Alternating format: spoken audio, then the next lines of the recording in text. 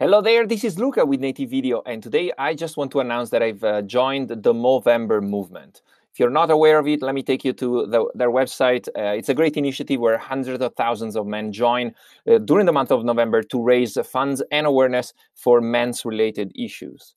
Uh, the typical way to join is uh, through growing a mustache. I will not uh, grow uh, any facial hair, but rather I will be joining through the move for Movember.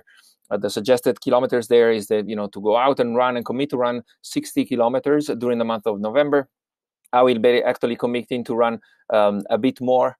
Um, actually, let me take you to my space where you can also donate and support me and support the great initiative of uh, Movember uh, by donating here. As you can see, my uh, my face there is after one marathon uh, my in recent years actually uh, uh, my commitment is to run almost four marathons. Is five kilometers per day.